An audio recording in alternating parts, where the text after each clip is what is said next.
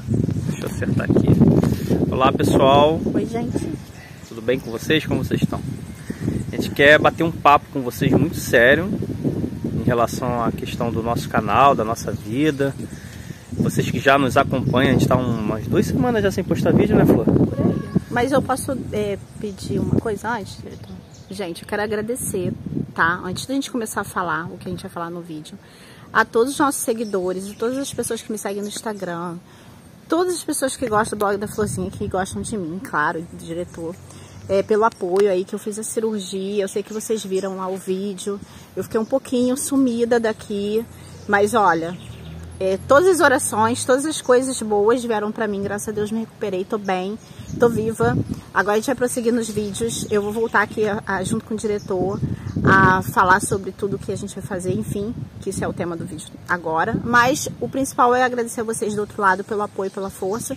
Tô bem, deu tudo certo. É, okay? vocês não sabem como é importante cada comentário. A gente gosta de ouvir cada comentário, de ler, de, de responder.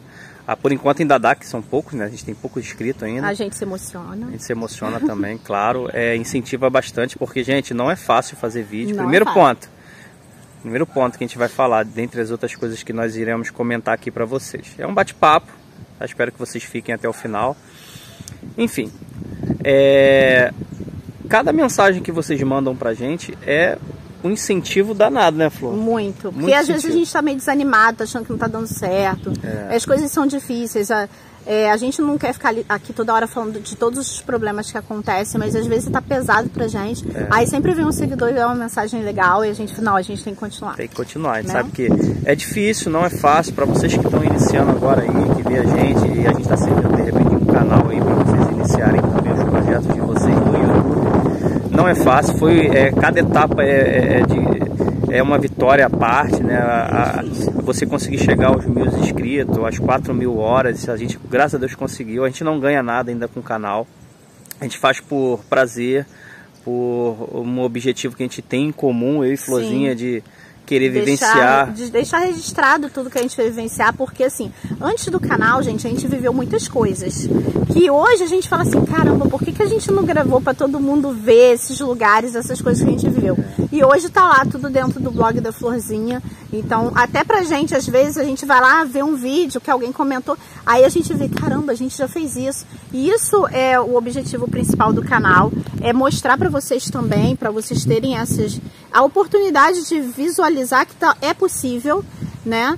E também pra gente deixar nossa recordação lá, nossa vida todinha guardada. É, hoje a nossa vida é pública, tá aí para quem quiser ver. É, vocês participam, são parte da nossa família. Sim. Eu e Florzinha, a gente não tem filho, só tem as duas nossas duas filhas. Pipoca e Então, vocês fazem parte da nossa família e a gente agradece a vocês. Bom, primeiro ponto. Gente, tomamos uma decisão drástica. Uma decisão muito importante na nossa vida. Difícil.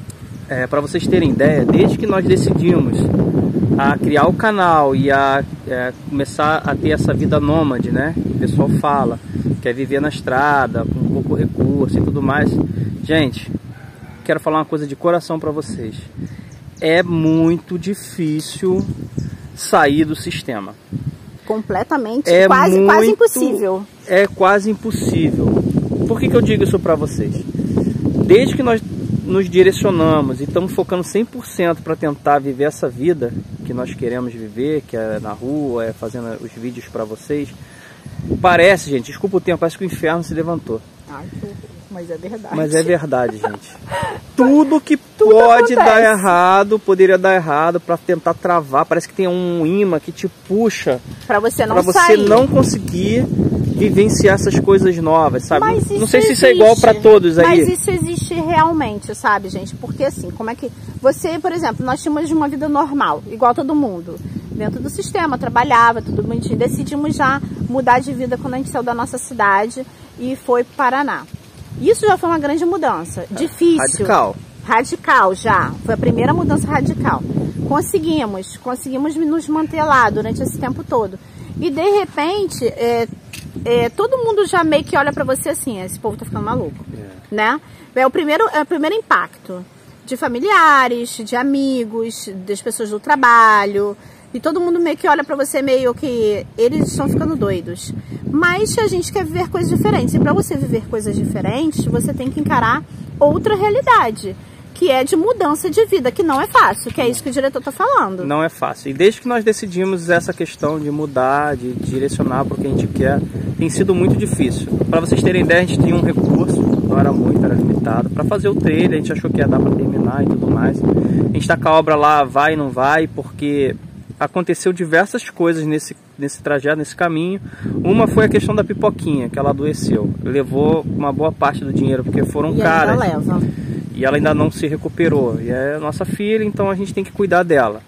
Porque cuidar ter cachorro só por ter, não é assim nosso pensamento. Não, eu, é. eu gosto de bicho e, é para cuidar. E como ela ficou com sequela, eu sei que pro resto da vida ela vai levar alguma parte do nosso dinheiro.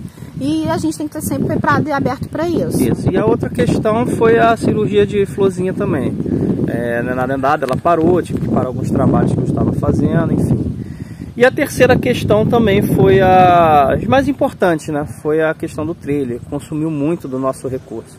E a gente não conseguiu acabar ele ainda. A gente achou que com o que a gente tinha, a gente ia conseguir, só que a gente não conseguiu chegar nem agora na. Chegamos na metade na da metade, obra. A gente tá na metade. E aí, gente, já foi todo o dinheiro, a gente não tem mais de onde tirar. E a desse- situação apertou apertou num Forte. grau que ou a gente decidia o que a gente vai falar pra vocês agora, ou a gente ia ou a gente não ia concluir o trailer, ou seja, é, o projeto principal, que é viver na estrada, iria se acabar. É. Então a gente tomou uma decisão muito difícil pra gente. Muito difícil. A gente percebeu o que, pessoal? Se você quer vivenciar algo novo, você quer colher algo novo, você tem que plantar. Então a gente vem plantando isso há um bom tempo. E, e tudo começando a dar errado. Então a gente está percebendo que quanto mais a gente faz, mais distante do, do- de realizar O sonho. o sonho de viver na estrada, fica mais distante, mais difícil. Toda hora acontece alguma coisa. Então, sem mais delongas, a gente decidiu radicalmente sair de casa. Sim. E morar, Nós- morar onde? A gente vai morar Na fogueta. na fogueta. É, nesse vídeo eu vou mostrar algumas cenas para vocês. Deixa eu levantar aqui. A gente já preparou ela, ela já está semi-pronta. Vou contar alguns erros que a gente fez. Fez bem improvisado, pessoal. É que a gente tirou o colchão, a gente parou aqui para fazer a gravação. Abre ali, amor, a mala. A gente montou aqui, ó. A gente montou aqui atrás, ó. Vou apresentar pra vocês. ó. Aqui é uma gaveta aonde a gente vai colocar. aqui- eu botei meu fogãozinho elétrico que Vê se tá gravando, amor. Se tá, porque às vezes ele tá corta. gravando. Eu botei fogão elétrico e botei alguns utensílios. Mas assim, gente, eu acho que tudo vai ser motivo de vídeo aqui no canal. Como a nossa primeira experiência, o negócio aqui é na- ganhando experiência mesmo. Não tá muito legal. É, o meu projeto, a gente fez isso muito Minha- correndo, gente. Que, deixa eu falar pra vocês, a gente teve que entregar a casa num tempo assim, Recorde. recorde. A gente arrumou uma pessoa pra ficar na casa. É, como eu te falei, o, o recurso tá limitado, então a gente teve que fazer isso aqui rápido. Então foi bem improvisadão mesmo. Mas aqui tem uma gaveta, Ah, deixa tem uma fechar. prateleira aqui. Aí eu criei uma prateleira, aí o diretor tentou improvisar, ficou bom. É. Ficou bom, deixa Aqui era pra ter outra gaveta, olha a mão. Tá, vou fechar. Olha a mãozinha. Eu vou fechar. Dá licença, aqui ó. Aqui era pra ter outra gaveta. Eu não quis. Aí ela não quis. Prefiro que abrisse assim. Aqui são os alimentos. Outro compartimento. Algumas panelinhas. E aqui ficam as ferramentas, algumas do diretor. Ali tem outro compartimento também. Abre lá, Flor. Vê se dá pra abrir. Ó.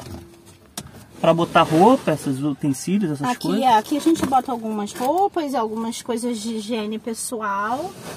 E do outro lado também é roupa. Abre aí, diretor, do outro lado. Eu ainda não terminei, porque como eu falei, foi rápido. Tá aí. A gente ainda quer diminuir essa quantidade de roupa. Mas do- no decorrer do vídeo eu vou mostrar como é que a gente montou isso aqui rapidinho pra vocês. Conclusão. Decidimos Decidimos morar na fogueira. morar na fogueta para desocupar a casa e a gente tentar acelerar esse processo que a gente percebeu que não estava indo, não vai. Porque É, a gente não está preso às coisas ainda. Por mais que a gente já a gente passou um ano tentando se livrar de roupa, de utensílios, de Eu materiais e não acaba, gente, não acaba. A gente é acaba. acumulador, toda, acho que as pessoas são acumuladoras de coisas que nem se usam. É, que nem precisam. Nem, nem se precisa, a gente tem coisas na nossa casa que a gente não usa. Enfim, decidimos radicalmente mudar para Elba. Estamos No- na Sem casa. adaptação, é sem que casa, fala? Sem terra, sem teto, sem terra, sem teto. despejados. E a gente vai começar de uma forma ou de outra. A gente está aqui nesse lugar bonito hoje aqui, que a gente vai falar sobre ele aqui para vocês no próximo vídeo. E é isso. A mensagem que a gente queria deixar para vocês é essa. Eu sei que vocês estavam com saudades da gente, porque a gente ficou um pouquinho sumido, mas foi muita correria para poder chegar nesse nível aqui. Foi assim, dois ou três dias o diretor fez a Elba. Dois dias para fazer. Eu arrumando a casa, eu desmontando a casa, eu botando coisa fora. Foi uma loucura.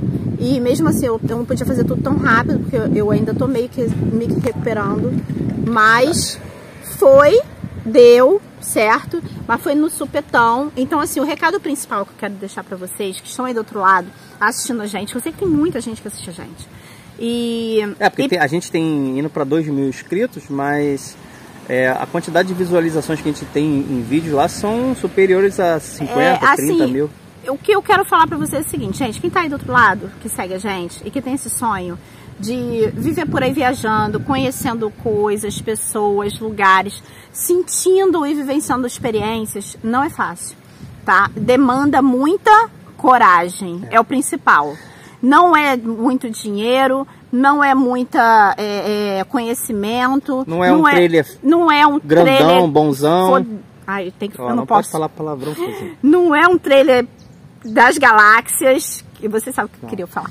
A gente Mas... tem diversos canais que a gente vê que não é isso. Mas não é isso. O principal coragem. é coragem, é você chegar e falar assim, eu quero isso e vou. E agora a gente tomou essa coragem. Eu confesso para vocês que eu, no dia que eu tava lá arrumando a casa, aquela coisa toda, o diretor estressado fazendo albinha, não dava certo, ele nunca fez aquilo.